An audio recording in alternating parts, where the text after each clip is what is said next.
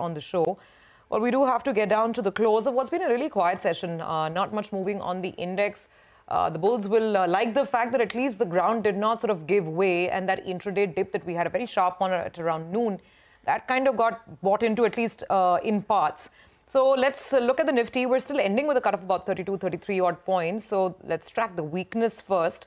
Uh, financials are still looking fragile. That's a very clear takeaway from today's trading action on the Nifty and even beyond.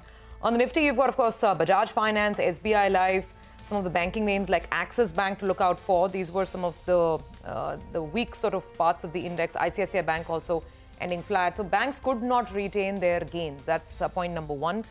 Uh, point number two, you didn't have too much of support from the heavyweights, the big boys. Lever, ITC are ending down about a percent thereabouts. Uh, rough day for L&T, half a percent down there. Reliance couldn't add to the tally. It's ending absolutely flat. Uh, so overall, consumers, by the way, you know, weren't a very uh, good-looking space today. A lot of profit taking on an Asian Paints, for instance, after the big move that we saw on Friday. What held up the other end of the market was really IT. That's the uh, one lone sector that stands out. Wipro, HCL Tech, Tech Mahindra, all these names managed a little bit of green. And uh, let's not forget the two nifty winners, Divi's and Bharti Airtel. Guys, I mean, these were the the ones that were doing some of the batting, but it reminds me of uh, Sunday. I, we don't want to go there. But just, you know. no, no, it's done. Unfortunately, not enough, uh, not for the Nifty. Let's talk about a couple of winners then for the broader market. so we don't remind us about uh, Sunday. We look forward sure. to the next four years. Uh, Talbros, one a big order, stock up 20%. Uh, Pratap Snacks, in the next few hours, we'll get to know who are the parties to that large trade. But that stock as well got locked up by close to 20%, 5% equity changing hands out there. Goldiam, you know, after a while, the stock has uh, spiked up. One of those plays uh, on the diamond space, uh, you know, so that stock is well up close to around 15% lab-grown diamonds.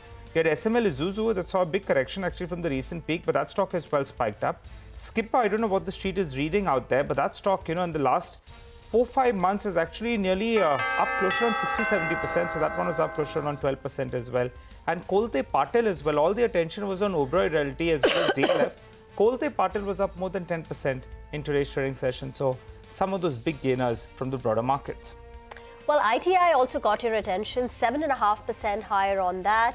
Uh, NetWeb was up close to about 1.2%. Potential beneficiaries of uh, the IT hardware PLI scheme. So ITI particularly, which is looking to manufacture its own uh, laptops, made in India laptops, was up close to about 7, 7.5%. Kaynes Technology also is qualified for the uh, hardware PLI scheme, uh, but the stock sunk 3.5% down. Plus, there was that fundraise announcement coming through on Kaynes uh, Technology.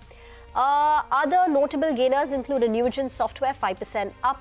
Uh, bonus um, issue announcement to be considered next week. Zen Tech on the back of order wins. Metropolis was up nearly 1.7%. SBI Cards uh, got hit hard on Friday, was down close to about 5%, but today it's managed a bit of a recovery. And BSE, Bombay Stock Exchange, that's the one which lost 5.6% on that. And on pretty large volumes, it's had a one way run up year to date.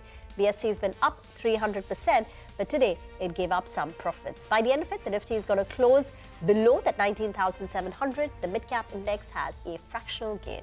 With that, it's a wrap and closing bell from the entire team. Thank you for watching.